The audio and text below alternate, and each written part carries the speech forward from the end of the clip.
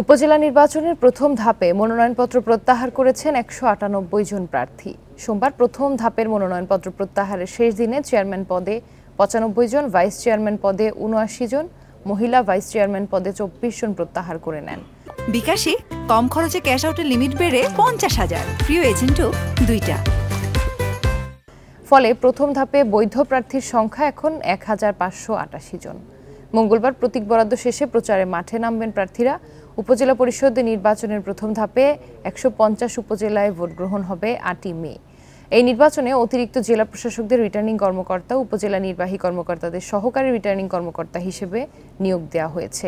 আর যেখানে ভোটারের সংখ্যা পাঁচ লাখের বেশি, সেখানে একাধিক সহকারী রিটার্নিং কর্মকর্তা থাকবেন। এছাড়া দ্বিতীয় ধাপের তফসিল অনুযায়ী মনোনয়নপত্র দাখিলের শেষ দিন আগামী আঠাশে এপ্রিল আর প্রার্থিতা প্রত্যাহারের শেষ সময় ত্রিশ এপ্রিল।